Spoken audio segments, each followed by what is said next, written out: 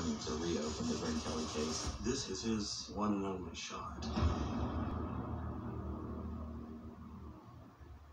Tonight on Show W.